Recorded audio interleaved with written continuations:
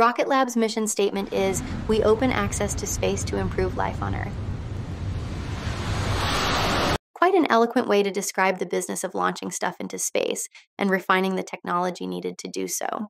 Probing into the workings of this company will clarify the role of commercialization in the burgeoning space economy and reveal insights into the trajectory of space infrastructure and exploration further into the 21st century, mainly in terms of efficient and more affordable access to space, specifically outlining Rocket Lab's business and the underlying technology powering it can serve as a launchpad towards topics relating to the relationship between privatization and government cooperation, while at the same time help illustrate the constraints of such partnerships. Delving into these subjects requires us to remember the normalization of companies providing launch services came about due to them building reputations of reliability and cost effectiveness relatively quickly due in large part to advances in technologies, materials, and components that have allowed for the miniaturization of spacecraft and a significant reduction in cost and time to market.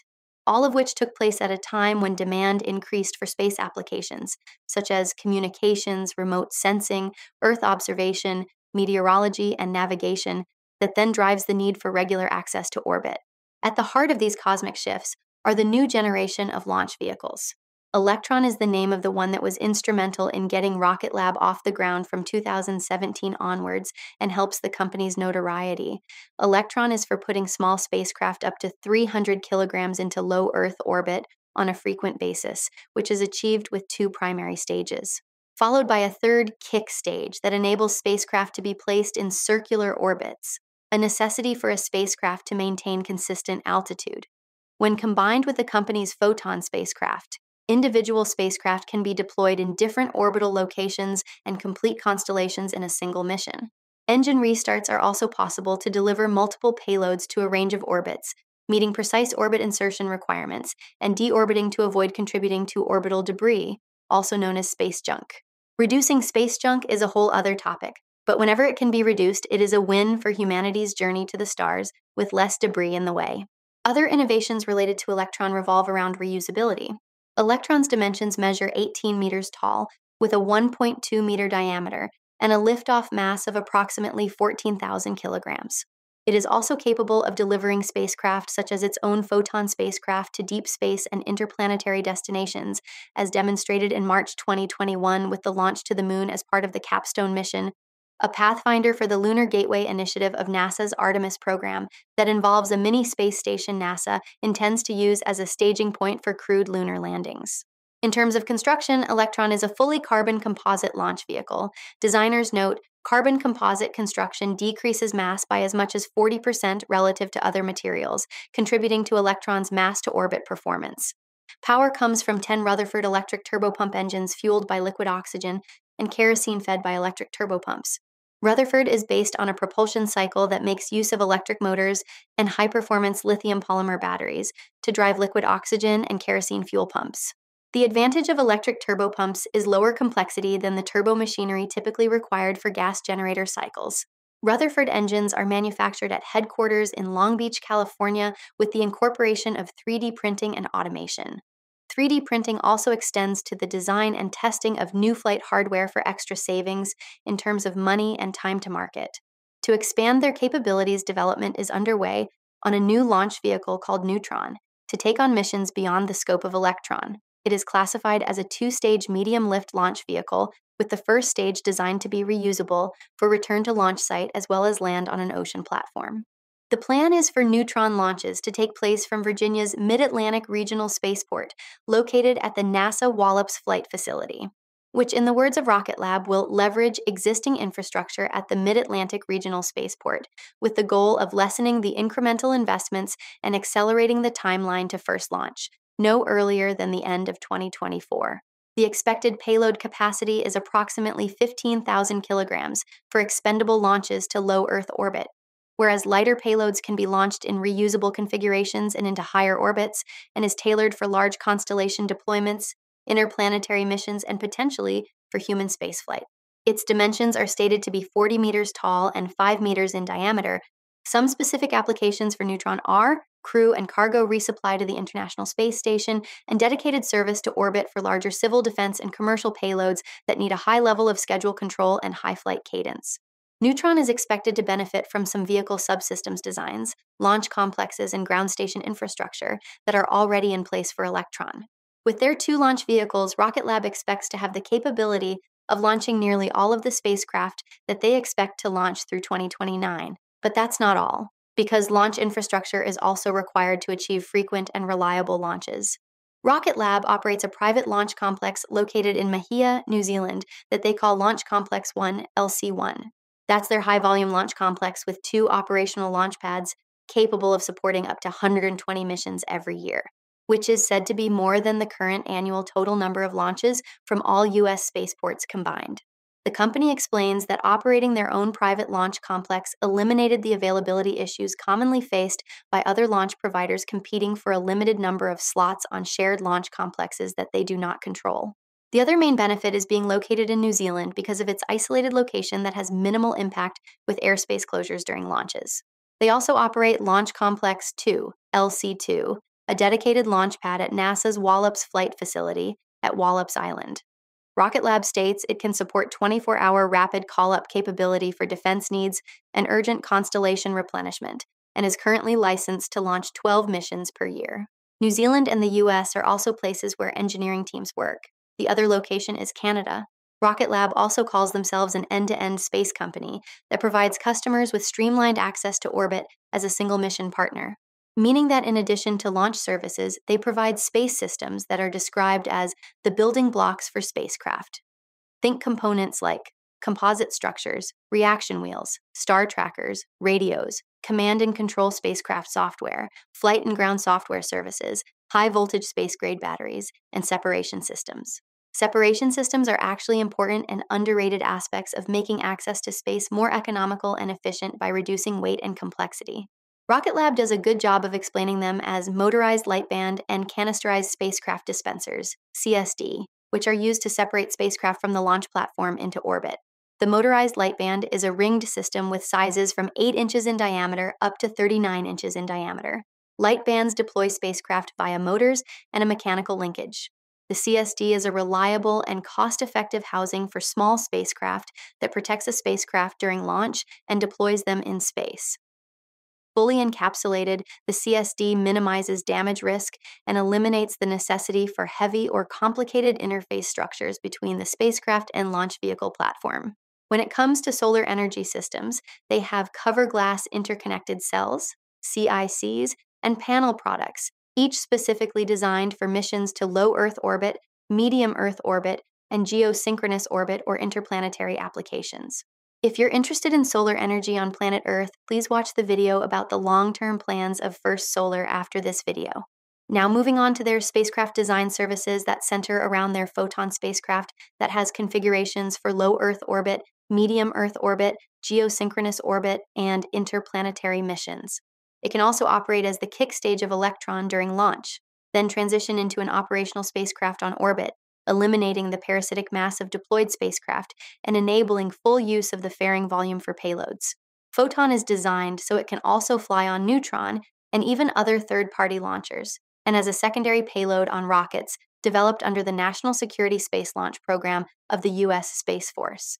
According to Rocket Lab, Photon spacecraft can be used to conduct space related scientific research, collect imagery and other remote sensing data about the Earth, carry out lunar and other deep space planetary missions, and to demonstrate new space technologies. That's why Photon has also been selected for interplanetary missions to Mars and Venus. The company's approach allows a wide range of cases to be covered from selling individual spacecraft components for use by customers in constructing their own spacecraft, to complete spacecraft design, manufacture, and on orbit operations. The intention of having end to end space system solutions is so customers can procure launch services, spacecraft, ground services, and on orbit management from one source, significantly streamlining their path to orbit. In order to offer a broad and competitive range of space systems at scale, innovation is key, as demonstrated by the more than 200 issued U.S. patents and more than 90 issued foreign patents. The U.S. issued patents expire between 2024 and 2042. Acquisitions are also made when appropriate. For example, the following companies were acquired at the start of this decade Sinclair Interplanetary in April 2020, Advanced Space Solutions Inc. in October 2021, Planetary Space Corporation in November 2021, and Sol Aero Technologies in January 2022, SolAero Holdings Inc., and the aerospace software firm Advanced Solutions Inc. The end to end space company approach, coupled with Rocket Lab's relatively early entry into the market, deliver a first mover advantage ahead of potential new and less established newcomers to the industry, giving them a leg up in terms of opportunities to capture a higher volume and value of customer missions. Part of what lessens the complexities of constantly needing to innovate is vertical integration, enabling close control from design to manufacturing to launching operations at a more rapid pace than if outside parties needed to be involved. For instance, Rocket Lab operates their own propulsion test infrastructure. Rocket engine testing is done at a propulsion test complex near Auckland, New Zealand, where there are multiple custom built vertical test stands for liquid propulsion, composite tank, component, and static stage fires. Similar to LC1, the benefits of operating their own private test complex helps avoid delays and schedule conflicts that are common at shared test facilities. With their broad capabilities and a record of consistent launch success, Rocket Lab is already on its way to claiming its market share. Not too surprisingly, government agencies make up part of the customer base, some of which are the U.S. Department of Defense, DoD, the Defense Advanced Research Projects Agency, DARPA, NASA, and the National Reconnaissance Office, NRO. On the commercial side, there are domestic and international commercial spacecraft operators like Black Sky Holdings, Canon, Kinéis, Capella Space, Planet, OHB Group, and Synspective. Though this does seem impressive, the space economy is still young, and the potential pool of clients is limited relative to other more developed industries. Rocket Lab readily mentions they derive a substantial amount of revenues from only a few of their customers, meaning a minor reduction in customers, especially government ones can have a substantial impact on future revenues and contracted backlog. As the industry matures, this lack of customer quantity and revenue diversity could become less of an issue for Rocket Lab and its peers. In order to manage their supply chain, Rocket Lab states they use third party enterprise resource planning systems and tools that are largely supported by an in house team of enterprise information systems personnel. They go on to explain multiple sources are used when possible, but in some cases, they purchase various inputs and services from a single source. In those situations, the risk of relying on one supplier is addressed by increased buffer stock, particularly on long lead items. Other considerations come from competition presented by other space companies, namely companies providing dedicated and rideshare launch vehicles to deliver payloads to generic and custom planes, torque inclinations, and altitude trajectories, such as Northrop Grumman, SpaceX, United Launch Alliance, a joint venture between Lockheed Martin Corporation and the Boeing Company, Firefly, ABL, and established Russian, Indian, Chinese, European, and Japanese launch providers. Then competition from companies in the spacecraft segment include Airbus, Lockheed Boeing, General Atomics, General Dynamics, Maxar Technology, Northrop Grumman, Raytheon Technologies, Thales Alenia Space, Astro Digital, Tyvak, and York Space Systems. This also extends to companies providing spacecraft components in the commercial market, such as Ball Aerospace, Raytheon, Collins Aerospace, Bradford Space, Honeywell Aerospace, GOM Space, Redwire, and Beyond Gravity. In light of this competition, Rocket Lab has stated they believe they can compete favorably in terms of the following competitive factors flight heritage and reliability, delivery schedule, ability to customize products to meet specific needs of the customer, performance and technical features, price, and customer experience. To keep developing and address competition, Rocket Lab says their growth strategy is based around increasing the number of launch services contracts and be entrusted with higher value payloads to drive an increase in their average selling price of their launch services. To this end, they outline several areas they intend to grow into, which could be indicative of the direction commercial space is heading as the 2030s near. For starters, holding an established reputation of accessing space reliably, frequently, and cost effectively will remain a priority to penetrate the available market for on orbit constellation management and ultimately address the space applications market, representing the largest addressable market in the space economy. Then launch service verticals are to be expanded, meaning additions such as Hypersonic Accelerator Suborbital Test Electron, HASTE for short. On top of that, there's the aforementioned Neutron launch vehicle that has the potential to increase the addressable launch market due to the additional lift capacity enabling higher revenue per launch. Improvements to existing measures are also mentioned, namely manufacturing scaling and cost reduction strategies in the production of spacecraft components and subsystems to increase market share in the area of large constellation design. On a related topic, they intend to broaden their portfolio of strategic components for spacecraft by commercializing solutions developed for their launch vehicles and family of Photon spacecraft. Essentially, they plan to offer components like avionics, subsystems, radios, and batteries that were originally designed for their own craft. Then, something unique to Rocket Lab and their peers in the industry is their relationship with governments and the regulations they must comply with in order to operate. After all, space technology is highly transferable to military technology, and that naturally leads to issues of national security. Regulations generally concern the areas of export and import control, economic sanctions, trade embargo laws, and restrictions. As one would expect, these can vary depending on where a company does business. In Rocket Lab's case, they are mainly subject to the regulations of the U.S. Department of Transportation, Federal Aviation Administration, FAA, the New Zealand Space Agency, and other government agencies in the United States, Canada, and New Zealand. For example, LC1 was made possible largely due to a bilateral treaty between the United States and New Zealand that enables Rocket Lab to use U.S. launch and spacecraft technology for launches at LC1 that otherwise would not be permitted for launches from foreign soil. The company has mentioned this treaty provides a competitive advantage over other companies, launching rockets from outside the U.S. that do not have the benefit of such a treaty. Operating their own private launch complex also affords them the benefit of complete control over launch schedule and availability due to the absence of needing to obtain required regulatory clearances for launches, as well as not having to compete with other launch providers at a shared site. Though pay close attention because they only operate their own private launch complex. That does not mean they own the land, which is actually leased. The current term of the lease expires on November 30th, 2024, with Rocket Lab having the right to renew it for four more terms of three years each. In other words, it is possible to continue using the launch complex through at least 2036. Half a world away is Rocket Lab's LC 2, the Mid Atlantic Regional Spaceport within the NASA Wallops Flight Facility in Wallops Island, Virginia, which we also mentioned earlier.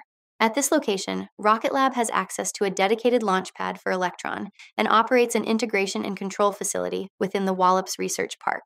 This facility is dedicated to secure vehicle and payload processing facilities. The facility can process several Electron launch vehicles and customer spacecraft concurrently, which the company says enables rapid and responsive launch opportunities and parallel launch campaigns. The use of LC2 is regulated by an agreement providing the rights to access the facilities, launch property, and services at this launch complex until expiry on September 28, 2028. Then, if you recall, LC2 is licensed to support 12 missions per year, likely due in part to Rocket Lab having a Category 1 certification under the NASA Launch Service Program. Category 1 is the lowest ranking, while Category 3 is the highest ranking in the program. This doesn't necessarily point to anything inferior about Rocket Lab's operations at the facility, more so that it's a newcomer to the facility with the potential to achieve higher categories. License categories are obtained based on factors like experience, demonstrated reliability, and NASA audits.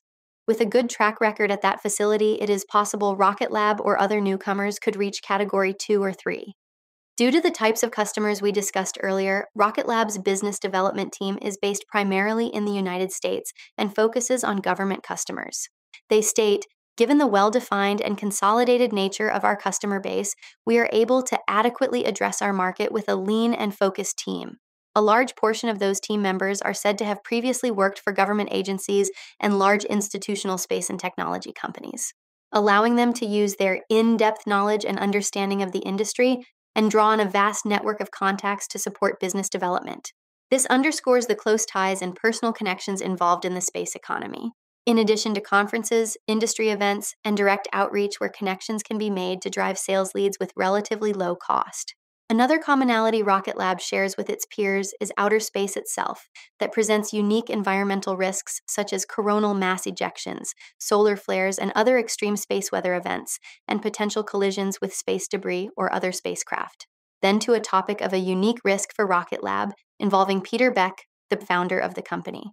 It has been stated he is a crucial source of most ideas and a key driver of executing them. If he were to leave Rocket Lab for any reason, it would undoubtedly have a profound impact on the company. Well, that does it mission accomplished. You now have a better idea of what Rocket Lab is and the broader space economy. Please follow Ascencore and stay tuned for coverage of more businesses.